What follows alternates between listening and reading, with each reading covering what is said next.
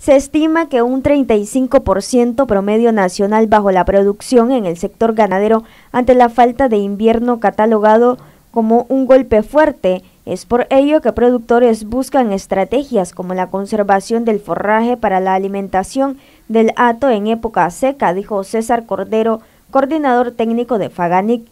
Lo más afectado es el corredor seco, ¿verdad?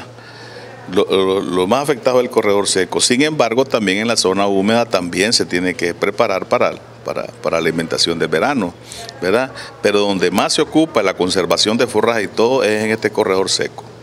Y es donde más está afectando o ha afectado o ya afectó la sequía.